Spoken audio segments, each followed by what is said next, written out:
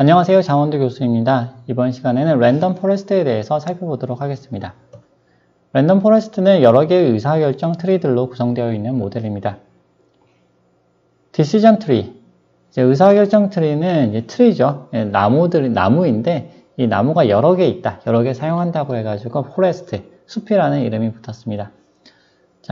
자, random forest에 대해서 얘기하기 전에 기본적인 앙상블 방법에 대해서 간단하게 설명을 드려야 되는데요. 앙상블이라고 하는 것은 여러 개의 분류기를 사용을 해서 나온 결과를 조합하여서 최종 분류 결과를 도출하는 방법입니다. 한 사람한테만 물어보는 게 아니고 여러 사람한테 물어보는 거죠. 이제 뭔가 내가 중요한 결정을 해야 돼요. 오늘 짜장면을 먹을 것인가 짬뽕을 먹을 것인가 결정을 해야 되는 뭐 중요한 결정을 해야 된다고 생각을 해봅시다. 그러면 이 결정을 하기 전에 나 스스로 결정을 할 수도 있겠지만 물어볼 수 있겠죠. 옆에 있는 사람한테. 이게 좋겠니? 이게 좋겠니? 자, 한 사람한테 물어봅니다. 그래서 나온 결과를 내가 선택을 합니다. 그렇게 할 수 있겠죠? 근데 그게 아니고 한 세 사람한테 물어보는 거예요. 물어봐서 이제 가장 많이 대답한 거. 자, 이 사람이, 이 사람은 짬뽕, 여기는 짜장면, 여기 짜장면 이렇게 했으면 아, 짜장면이 더 많으니까 짜장면을 선택하자. 라고 해서 짜장면을 선택하는 거. 자, 이것이 앙상블 방법이 되겠습니다. 이렇게 방금 제가 말씀, 말씀드린 방법이 이제 투표를 통한 방법이고요. 그 다음에 꼭 투표를 해야 되는 건 아니고 나온 결과를 뭐 평균을 낼 수도 있습니다. 자, 앙상블 방법은 아래쪽에 는 이 그림하고 같습니다. 그래서 지금 분류기를 여러 개를 써요. 4개 정도의 분류기를 썼다라고 하고 각 분류기에서 주어진 데이터가 1번이다. 예, 이 그룹이 1번 그룹이다. 1번 그룹이다. 또 1번 그룹이다. 분류기 4는 0번 그룹이다. 라고 했을 때 이 결과를 취합을 해가지고 최종 결과를 나타내는 거죠. 아, 1번이다. 라고 얘기를 할 수 있겠죠. 자, 이 양상불 방법이 의미를 가지기 위해서는 각 분류기의 성능이 일정 수준 이상이 되어야 합니다. 뭐 짜장면, 짬뽕 뭐 고르는 문제에서는 사실 어느 게 나오건, 나오던지 뭐 크게 상관이 없겠습니다만은 우리가 어떤 중요한 문제를 푼다라고 했을 때 이 문제의 값을 이제 구해야 되는데 어, 어떤 공부를 잘하는 사람한테 물어봐야 되잖아요. 그렇죠? 공부를 잘하는, 잘하는 사람한테 물어봐가지고 세 사람한테 물어봐서 나온 결과를 우리가 가지고 어, 어떻게 취합을 해서 최종 결과를 내야 되는데 어, 중간에 이제 평균 수학 성적이 50점 혹은 30점 나오는 학생한테 친구한테 물어보면 이제 최종 결과를 우리가 잘 받기가 쉽지 않겠죠. 그래서 앙상블이라고 했을 때 이 앙상블의 의미를 가지려면 각 분류기의 성능이 일정 수준 이상은 되어 주어야 합니다. 그리고 각 분류기의 결과가 서로 달라야 합니다. 물론 결과가 이제 어, 우연히 같아질 수는 있겠죠. 그런데 분류기 각 분류기가 분류하는 방법이 항상 동일 이제 동일해 가지고 항상 똑같은 결과가 나온다라고 한다면 이거는 우리가 여러 개의 분류기를 쓰는 의미가 없겠습니다. 그래서 각 분류기의 결과가 서로 달라야 한다. 항상 다를 필요는 없겠지만 항상 같아서는 안 된다. 이런 뜻입니다. 자, 그러면 random forest는 무엇인가? 자, forest는 forest인데 random이 붙었잖아요. 그래서 앞에 random이 중요합니다. random이라고 하는 거는 이제 여러 개의 의사결정 트리를 통해서 나온 결과를 조합해서 최종 결과를 도출하는데 이때 랜덤성을 주어서 각 트리, 예, 각각의 트리가 학습되는 결과가 학습되는 모델이 달라지도록 하겠다라고 하는 것이 random forest입니다. 자, 그러면 랜덤성을 어떻게 줄 것인가 하는 부분이 random forest의 가장 핵심적인 그런 어, 방법이 되겠습니다. 자, 두 가지 방법이 있습니다. 첫 번째는 bagging입니다. 자, bagging이라고 하는 거는 Bootstrap Aggregating 약자거든요. B-A-G-G-I-N-G 뭐 약자인데 여기서 Bootstrap 이라고 하는 거는 반복적인 샘플링을 말해요. aggregating은 이걸 취합한다는 뜻이거든요. 그래서 이제 반복적인 샘플링을 통해서 랜덤성을 획득을 한다는 거예요. 그걸 통해서 여러 개의 트리를 만들겠다는 겁니다. 반복적으로 샘플링을 하는데 똑같이 어, 전체 100개가 있으면 100개를 계속 뽑으면 랜덤성이 획득되지가 않겠죠. 그러면 어떻게 하나요? 전체 100개의 데이터 중에서 70개만 선택을 합니다. 그래서 70개를 가지고 학습을 해요. 그 다음에 그래서 트리 하나가 만들어지면 그 다음번에 다시 전체 100개 중에서 또 70개를 선택을 합니다. 아까 선택했, 선택했든지 트리 1을 만들 때 선택을 했든지 안 했든지에 대해서는 상관이 없어요. 그냥 전체 100개, 전체 데이터 중에서 뭐 70% 혹은 80%의 데이터를 사용을 해서 또 학습을 하고 트리를 생성을 합니다. 자, 이 과정을 여러 번 반복을 해서 10개, 뭐 20개 이렇게 트리를 우리가 만들 수가 있겠죠. 그렇게 트리를 여러 개 다양하게 만들어서 최종적으로 나온 결과를 이제, 이제 나온 결과들을 다 취합을 해가지고 최종적인 결과를 만들어내는 것. 이것이 이제 random forest의 방법이 되겠습니다. random forest에서 랜덤성을 획득하는 방법 두 번째입니다. 자, 이거는 특징 bagging. 아까 bagging인 bagging인데 아까는 데이터에서 일부만을 샘플링을 했었는데요. 이번에는 데이터에서 샘플링을 하는 것이 아니고 특징에서 샘플링을 합니다. 그래서 특징 bagging, feature bagging이라고 얘기를 합니다. 여기서 이제 조금 자세하게 설명을 드리면요. 전체 특징이 있으면 이 중에서 랜덤하게 우리가 선택을 해서 학습을 시키는 건데 이런 특징이 있다고 해보겠습니다. 어떤 성별 데이터, 나이 데이터, 흡연 데이터, 체중 데이터, 음주, 음주 여부, 커피 얼마나 마시는지, 비만 여부, 또 주소지 뭐 이런 이제 정보를 바탕으로 해서 폐질환 여부를 우리가 예측을 해볼 수가 있겠죠.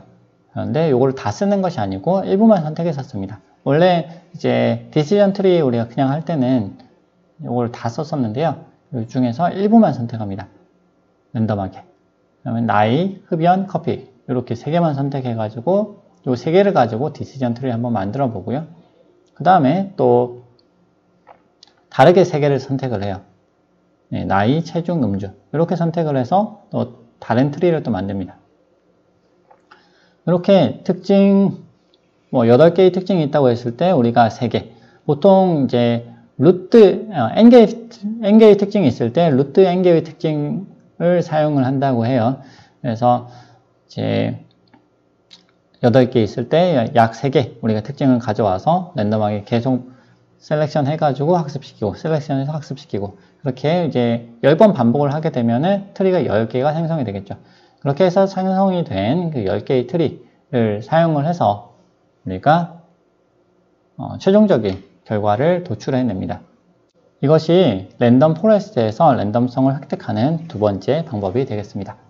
네, 그러면 이제는 오렌지에서 random forest를 사용을 해서 데이터를 어떻게 분석하는지 살펴보도록 하겠습니다. 사실 오렌지에서 random forest를 사용을 하는 거는 이제 허무하리만치 간단합니다. dataset을 먼저 선택을 해 주시고요. 여러분이 익숙한 아이리스를 한번 해볼까요? 아이리스를 선택을 하고 아이리스에서 우리가 random forest를 선택을 해줍니다. 자, 그러면 끝났어요. 그 다음에 나온 결과를 predict 해보겠습니다. 그러면 결과가 나옵니다. 네, 정확도가 97%, 97.3%가 나온 것을 보실 수가 있습니다. 네, 여기서 우리가 random forest를 몇 가지 이제 옵션을 줘볼 수가 있겠죠.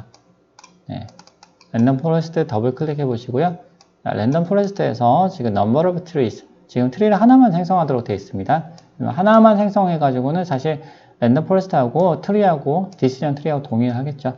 그래서 이거를 네. 내가 10개. 네, 10개를 적용해 줍니다. 네, 정확도가 97.3%가 됐습니다. 아까 한 개일 때 정확도가 95.3%. 네, 10개일 때 98.7%. 할 때마다 조금씩 달라지죠? 랜덤성이 있어서 그렇습니다. 자, 그 다음에요. 어, 지금 네, number of attribute considered at each split. 자, 할 때마다 특징을 몇 개를 사용할 것인가 하는 걸 여기서 선택하도록 되어 있습니다. 3개 이렇게 하면 할 때마다 3개를 다 선택하는 거죠. 2개 이렇게 하면 줄어듭니다. 한 개만 쓰겠다. 네, 한 개는 안 되네요. 네, 최소 두 개를 써야지 지금 되도록 되어 있습니다. 자, 두 개를 써서 지금 해보니까 97.3% 지금 특징 개수가 사실 너무 적어가지고 지금 요걸 하는 것이 쉽지는 않은 것 같습니다. 자, 그럼 dataset을 한번 바꿔보도록 하겠습니다. 네, 타이타닉 dataset으로 바꿔봤습니다. 아, 요것도 너무 작네요. 그러면 조금 더 많은 거요. 자, 아까 했던 breast cancer 예, 유방암 데이터로 가보겠습니다. 자, 정확도가 지금 87.1%가 나왔습니다. 특징 개수가 지금 두 개만 썼고요. 여기서 이거 늘려보겠습니다. 지금 총 10개의 특징이 있거든요. 5개로 늘려봤습니다. 늘려봤더니 지금 89.5% 네, 그러면 특징을 다 써볼까요? 10개가 아니고 9개네요. 다 썼더니 90.2% 네, 할 때마다 달라진다는 건 함정입니다. 예, 요 apply automatically 요거를 언체크 하신 다음에 요거를 apply를 다시 해보면 할 때마다 이렇게 달라지는 거를 클릭할 때마다 달라지는 걸 보실 수가 있습니다. 자, 이렇게 이제 random forest의 옵션들을 조정하는 것을 이제 살펴보셨어요. 지금 growth control에서는 여러분이 어, 그 전에 decision tree에서 이렇게 조정할 수 있었던 그 파라미터들이 여기 들어 있습니다. 자, 그러면 이 random forest하고 네, decision tree하고 차이가 어떻게 되는지 한번 우리가 살펴보겠습니다. 네, tree로 이제 똑같이 만들어 보고요. random forest에서는 우리가 좀 안정적으로 가기 위해서 이거를 네, 트리 개수를 200개 이렇게 네, 어, 그 다음에 특징의 수는 우리가 네, 3개 이렇게 해보겠습니다. 그 다음에 prediction 네, prediction에서 보시면 지금 random forest가 지금 accuracy가 91.3% tree가 85.7% 정확도로 이렇게 random forest가 조금 더 좋은 성능을 보이고 있는 것을 보실 수가 있습니다. 물론 요거는 테스트 정확도가 아니고 트레이닝 정확도입니다. 테스트까지 어, 그러니까 트레이닝 테스트를 이렇게 분리해 가지고 확인해 보시려면 Test and Score 위젯을 사용해 보시면 되겠습니다.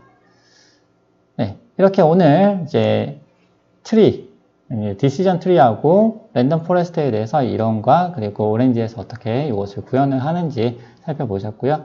오늘 긴 시간 수고 많으셨습니다. 감사합니다.